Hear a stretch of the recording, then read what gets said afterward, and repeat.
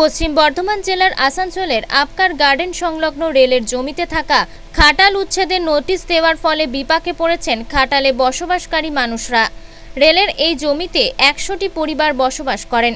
তারা প্রায় দীর্ঘ কয়েক দশক ধরে এই স্থানে বসবাস করছেন। কিছুদিন পূর্বে রেল কর্তৃপক্ষ উচ্ছেদের নোটিশ দিয়েছে। এদিন খাটালে বসবাসকারী মানুষদের সাথে দেখা করতে আসেন যদুবংশী কল্যাণ সমিতির সদস্যরা। फिर आप लोग को भी हम लोग कुछ लिख के इंजीनियर साहब को दिए थे अपना तरफ़ से कि पाँच सीट, पाँच सात फुट आपका ज़मीन रेल का है यहाँ पर। और उससे दिक्कत कुछ तो सर नहीं, हम लोग का सब बड़ी यहाँ तक बहुत दिन से हम लोग हैं। लेकिन आपका, आपको जैसा विचार हो, अब लो- हम लोग तो ज़बरदस्ती नहीं कर सकते हैं आपके साथ में। लेकिन गरीब आदमी है सौ को परिवार इस जगह पाल रहे हैं, बाल बच्चा खा कमा रहे हैं इस जगह से। तो इसी के चलते हम लोग हैं, अब बहुत दिन से सर रहिए गए आज तक आज भी अभी भी है ही है आपका मैंने रेले का साथे में है। अपना भी ज़मीन हम लोग का उस जगह आपका साथे साथ है। तो आपका जैसा विचार हो वैसा अब अब तो हम लोग क्या करेंगे आप लोग? अब जैसा आपका विचार होगा सर तो वही ना अब आप ही लोग ना करिएगा। हम लोग तो गरीब आदमी है कोनो आपको हम तो कोई आपत्ति नहीं कर रहे हैं। ये लोग आके क्या बोले आज? आज बोल रहे हैं सर कि मैंने तुम लोग खटाल को नोटिस मिला तो काहे नहीं तोड़ के हटा लिया। तो अब हम लोग तुम गुंजाइश नहीं है, सर, कहीं अपना जुगाड़ में घूम रहे हैं ज़मीन जगह जैसा अब होता हम लोग तो ज़बरदस्ती नहीं करेंगे, लेकिन अपना जुगाड़ में ज़मीन जगह के हैं कि कहीं मिल जाएगा तो एडजस्ट हो जाएगा।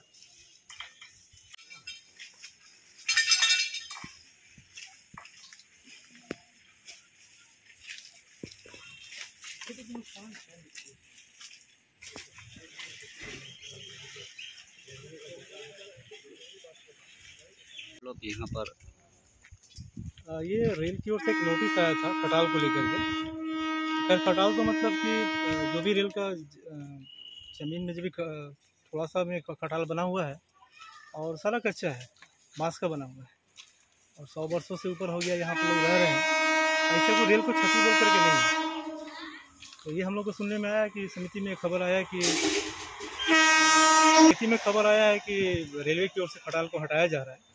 तो उसी को थोड़ा सा मामलों को समझने के लिए हम लोग यहाँ पर आए हैं कि देखिए मामला है क्या क्योंकि अ, हम लोग हमेशा से चाहते हैं कि मतलब रेल का संपत्ति है सरकार के बिल्कुल साथ रहते हैं ऐसा कोई भी काम हम लोग इलीगल नहीं करते हैं लेकिन चूँकि सौ वर्ष हो गया यहाँ पर गरीब लोग हैं अपना व्यवसाय कर रहे हैं इससे अगर रेल को क्षति नहीं हो रही है तो मुझे नहीं लगता कि इस तरह का कोई कार्रवाई करना चाहिए कौन समिति আসানসোল থেকে সৌমিত্র গাঙ্গুলির রিপোর্ট আনন্দ বার্তা